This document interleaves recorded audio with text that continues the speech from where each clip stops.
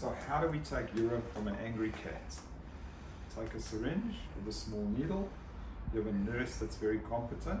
You say to the cat, please be good. We want to try and take a urine sample. Have you got a bladder for us? Sometimes they're obliged, please don't bite me.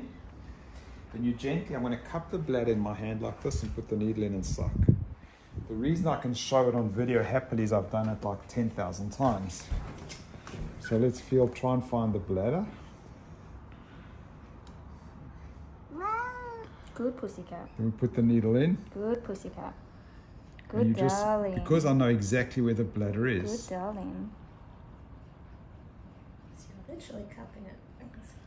So there's the your beautiful sample. I was cupping it like this in my hand. The cat's no better off. It's a 25 gauge needle. It's tiny. Um, and it's actually a very gentle, peaceful way to take urine from a cat. And you were quick It's and Katie sterile. didn't get eaten. It's sterile. We can send it to the lab for all kinds of things. This beautiful cat's losing weight. So we can now look if there's maybe kidney issues. Is it concentrated? Is there protein in the urine? Is there glucose? While we while we've got the video going, well, this is just how to take urine from a cat.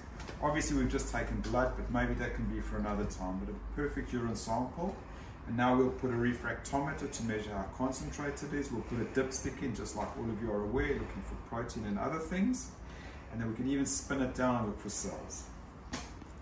Well done, good patient, and great support staff, which makes it easy.